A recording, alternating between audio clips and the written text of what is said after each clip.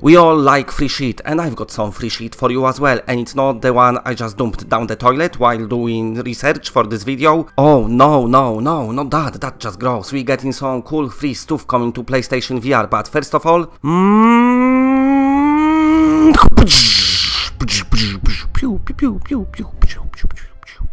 this is the US code for Homestar VR, application where you look at the stars. Whoever won, congratulations, install it and look at the stars and think about the meaning and the message. Very nice stars in this game, very nice representation of the night without the light pollution and just beautiful stars. Glowing in your face, let's do the news! And we're gonna talk about two free games, one free demo, free DLC, and that will be all for free, but also we're gonna talk about PSVR update for PS4 game, but this one I'm not sure if it's free. It might be but it might be not. Not sure. Like I said, anyway, let's talk about some free stuff. Vroom kaboom! I spoke about it in past, yes, but I gonna do some spoking again because this got a bit delayed. But now developers said this will be releasing within a month. And this is a Tower Rouge game, sparkled with some pretty cool vibe of Twisted Metal and some cult collection and as well all the vehicle lovers. If you love your vehicle, you will love this game because you can take control of them and like kind of ride them. So you collecting your cards, building your awesome team of vehicles and sending them off to a battle to fight the other player because this game also having a multiplayer mode for all of you who likes to play online which is very nice fact because the game will be free which means everyone will download it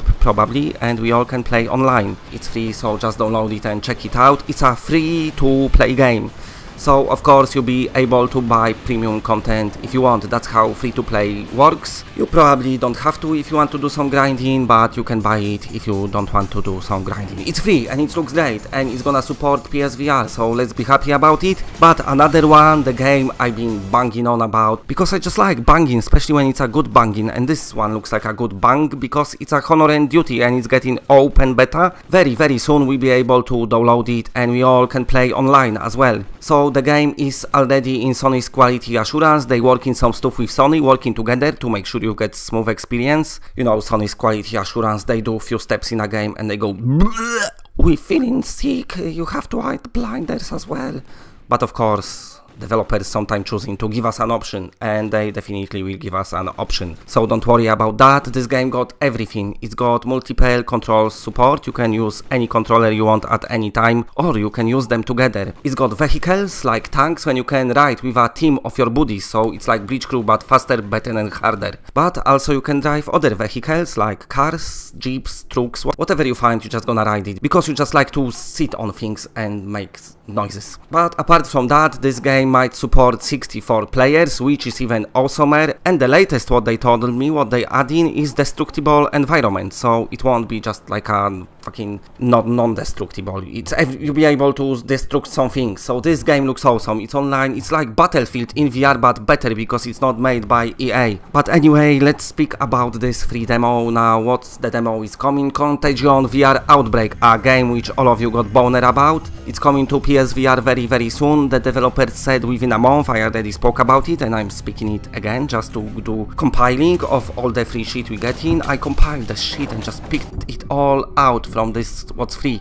Like picking a sweet corn from a sheet. You might eat it and it's, it just comes out the same. It's not getting digest. The sweet corn, the magic of sweet corn whatever, I don't know what I'm talking about, but Contagion looks great, full game will be out probably like within a year, but the demo will be out within a month or two or so. The full game will have like 8 hours campaign and also multiplayer modes as well, so this game just is sweet. Now, free DLC, as you noticed lately we've had Ark Park Pterosaur Hill DLC, which gave us some maps, but then you look at PC version of this DLC and there's some shit missing from PSVR, but they will release another DLC when the missing shit will appear. So on PC they've got that balloon ride, but on PSVR we don't, and for all of you balloon lovers who likes to just be in balloons, they're gonna release it and you'll be able to play with it and fly around it and see uh, dinosaurs. It's gonna come with that next update and next update might be dinosaur racing. They've done a poll and I think dinosaur Dinosaur Racing 1.